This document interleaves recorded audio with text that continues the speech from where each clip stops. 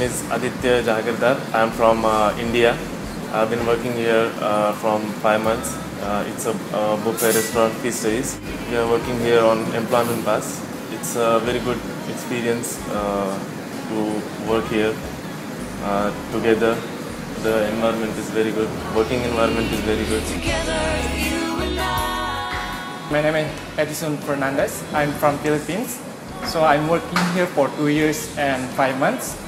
I'm working as a supervisor level F&B. So my related with Adi is he's one of the one of my staff. So we coordinate each other. For example, uh, we have lack of staff. We, we need to do it more, more faster and helping each other to set this restaurant. I am Shirin and I'm from Singapore. I'm a Malay and also a Muslim. So working here has been a great experience because um, they have uh, different religion and races. So it has been um, wonderful because all my colleagues are very helpful.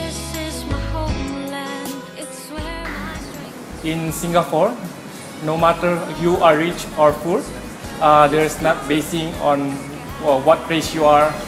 Everyone is free. Uh, you, it's the best country.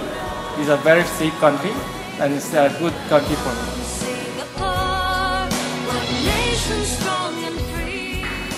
I can also be who I am because um, they accept me uh, as a Muslim, as a Malay. So um, we all actually accept each other um, regardless of uh, religion or race or which country we come from. We work here all together. Uh, here you can see the people from uh, Philippines, from India, from China, from Malay.